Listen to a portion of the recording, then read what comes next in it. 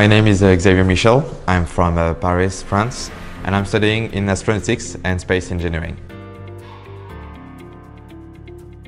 I've chosen to study at Cranfield University because I wanted to work in uh, the field of aerospace. And I think that Cranfield was uh, a complete reference uh, in this field and also it gives me the opportunity to um, do aerospace in a specific uh, area which is um, designing space uh, mission. So my first impression was that the campus is a very big place. Um, I have to say it's very impressive and also the airport is a very impressive thing because there is no university, I believe, uh, that has an airport.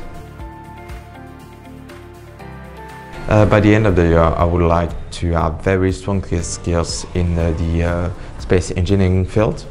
Uh, also, I hope that I will have the opportunity to learn more uh, languages from uh, my friends from my course or from clubs and societies. I think the best one I can give is to talk to student ambassadors. Um, you can find them on the Cranfield website uh, it's a chat box uh, which, which will uh, give you the possibility to talk to a student from a specific master.